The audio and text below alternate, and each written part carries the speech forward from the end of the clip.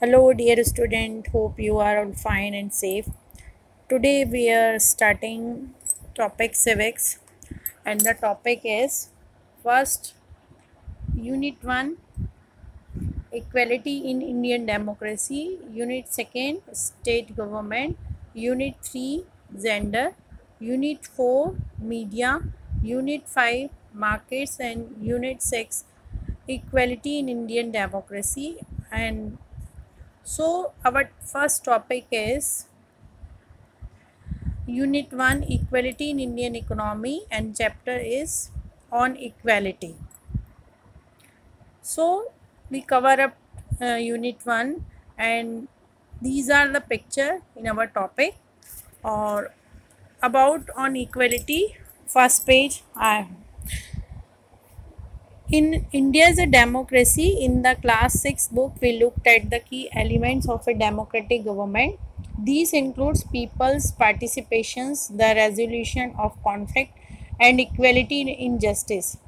Equality is a key feature of democracy and influences all aspects of its functioning. In this chapter, you will read more about equality, what is it is, why it is important in a democracy and whether or not everyone is equal in India. All know कि भारत एक लोकतांत्रिक देश है democratic देश है और democracy means by the people for the people of the people तो इसमें यही बताया गया है कि प्रीवियस क्लास सिक्स में आपने अबाउट डेमोक्रेसी के बारे में देखा होगा सो so, डेमोक्रेसी का एक मेजर राइट्स है fundamental rights equality equality means all people are equal to according to law and constitution so इसी के बारे में ये चैप्टर है। नेक्स्ट लाइज आप देखें ध्यान से। Please pay attention these are the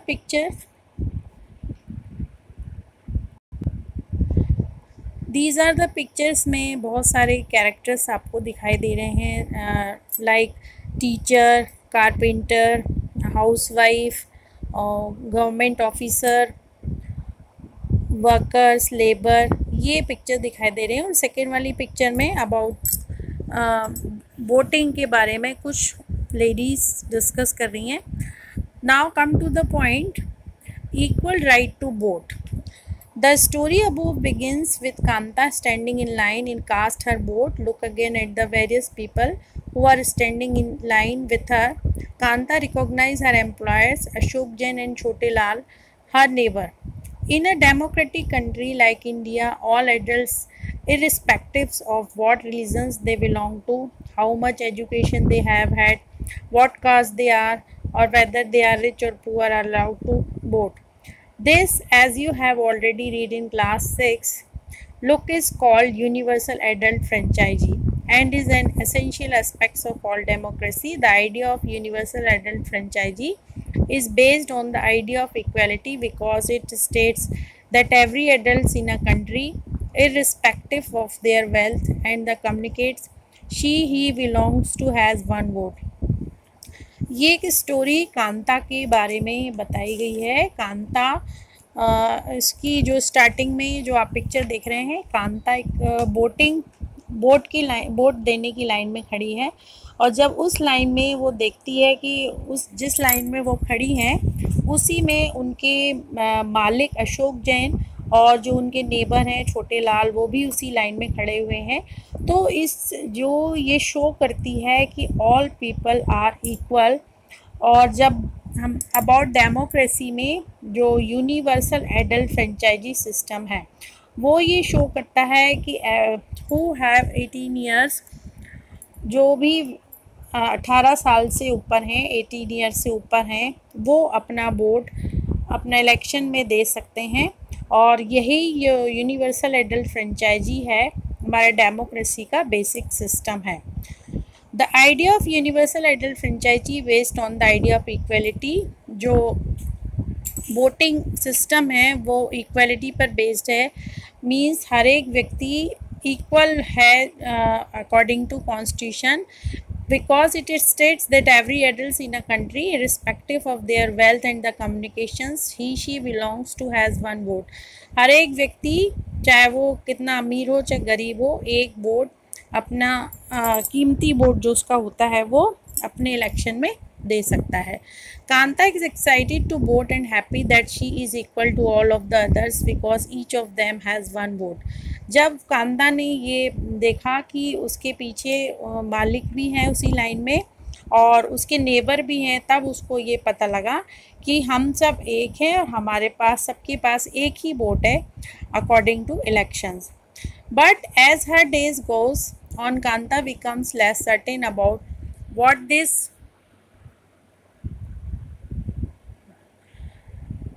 what what this equality real means बस कुछ दिनों जैसे जैसे दिन बीतते जाते हैं तो कांता को लगता है कि क्या हम इक्वल हैं? क्वेश्चन अराइजेस कि क्या वो सोसाइटी में सब इक्वल हैं? What is it that makes Kanta unsure let's take a look at a day in her life she lives in a slum and has a drain behind her house her daughter is sick but she can not take the day off from work because she needs to borrow money from her employees to take her child to the doctor. Her job as a domestic help tires her out and finally she ends her day by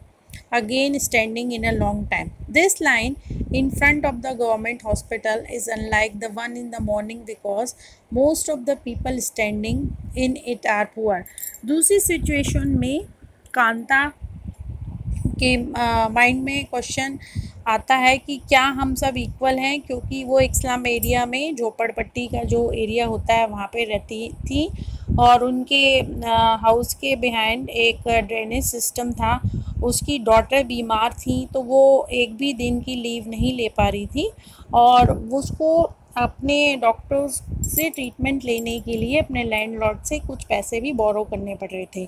और जब वो दिन भर house hold work करती थी तो काफ़ी tired हो जाती थी। और जब वो फिर उसके बाद हॉस्पिटल में वो जाकर देखती है तो उसको बहुत लंबी लाइन में अपनी डॉटर को दिखाना है और उस लाइन में बहुत सारे लोग लगे हैं। तो ये सब चीज़ें देखकर भी कांता के मन में एक क्वेश्चन अराइजेस कि we all equal or not next जो स्लाइड्स शो हो रही है आपको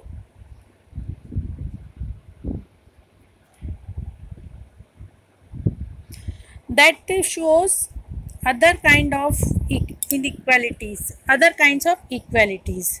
Third situation may kanta is one of many people who live in a democratic india and who have the right to vote but whose daily living and working conditions are far from equal. Apart from being poor, people in India experience inequality in different ways. Let's see what is means by reading the two stories given below. Each of these is based on real incidents in people lives and reflects the different kinds of inequalities that exist in India. ये दो सिचुएशनों में जो दो story आपके previous slides में थी उसमें कांता के मन में ये प्रश्न आता है कि आ, हम इंडियन में इंडियन डेमोक्रेसी सिस्टम में रहते हैं and we have voting power but अगर डेली सिचुएशन देखें तो ये सिचुएशनें बहुत अलग हैं और यहाँ पर इंडिया में उसको कई बार डिस्क्रिमिनेशंस मतलब असमानता का सामना करना पड़ता था। तो ये कौन कौन से असमानताएँ हैं, वो अभी नीचे आपको पैराग्राफ में रीड आउट होंगी। One of the more common forms of inequality in India is the caste system if you live in rural India your caste identity is something that you are probably learned or experienced very young. If you live in urban india some of you might think that uh, some of the might think that people no longer believe in caste but just look at these matrimonial shows from a leading English newspaper and you will see how important the issues of caste continue to be in the minds of highly educated urban Indias. ये आप side में जो picture देख रहे हैं उसमें कुछ ऐसी स्लाइड्स दिखाई दे रही हैं जिसमें इक्वलिटीज़ के बारे में कुछ शो हो रहा है और ये जो सबसे जो मेजर हमारे इंडिया में इनक्वलिटी का जो फ़र्स्ट पॉइंट है वो है कास्ट सिस्टम इसमें बताया गया है कि यदि आप गाँव में रहते हैं तो आपने